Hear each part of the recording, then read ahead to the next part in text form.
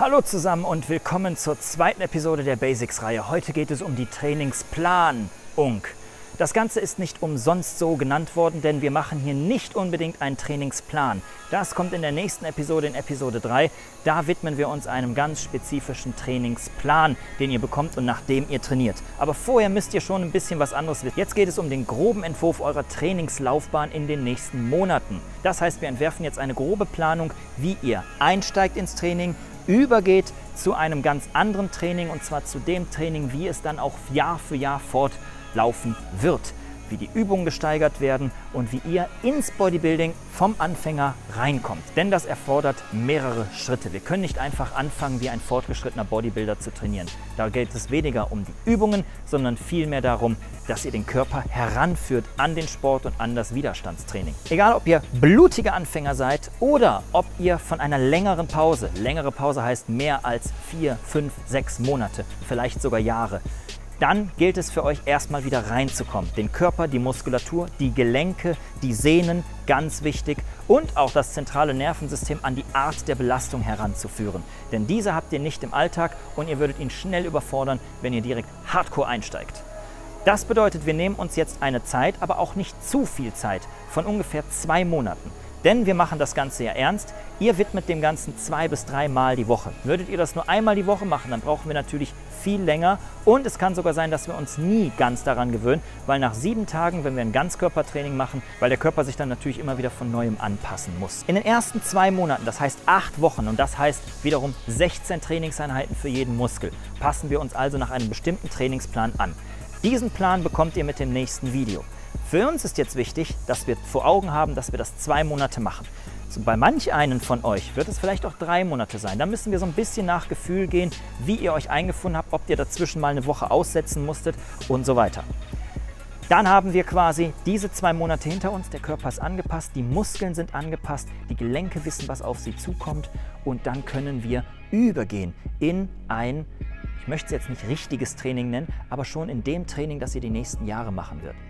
Das bedeutet, ihr geht von einem Zweiersplit nach diesen acht bis zwölf Wochen über zu einem Dreiersplit. Und dann betreten wir schon die Welt des Bodybuildings. Das heißt, wir separieren die Muskelgruppen mehr und können dadurch auch wesentlich mehr Aufmerksamkeit den einzelnen Muskeln widmen.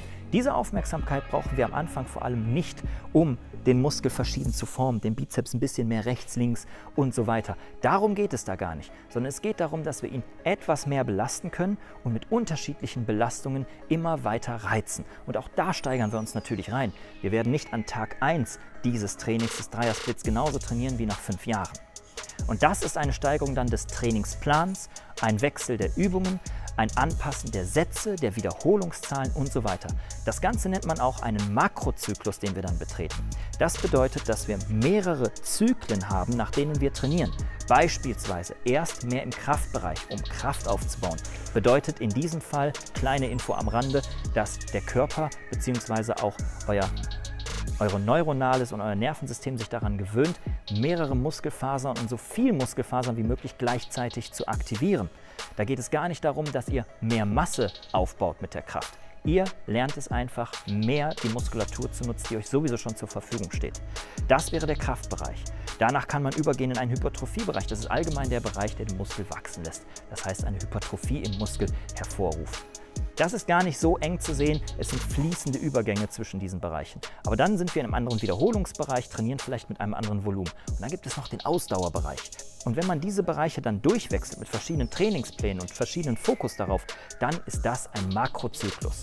Wir wollen jetzt gar nicht zu weit in die Theorie gehen. Ihr wisst, ihr habt zwei Monate Eingewöhnungsphase. Dann geht ihr über und wir machen einen Dreiersplit. All das könnt ihr hier auf dem Kanal verfolgen. Deswegen rechtzeitig den Abo-Button drücken, damit ihr kein Video verpasst von der Basics-Reihe. Und dann werden wir uns immer weiter anpassen. Wir steigern uns in den Übungen, wir steigern uns in den Sätzen, wir bringen mehr Volumen rein. Das heißt, unser Training wird umfangreicher, vor allem umfangreicher für die einzelnen Muskeln. Das bedeutet nicht, wir müssen immer mehr Zeit im Fitnessstudio verbringen. Wenn ihr jetzt quasi 90 Minuten drin seid, dann werdet ihr auch in fünf Jahren 90 Minuten drin sein und auch ich befinde mich noch 90 Minuten im Studio.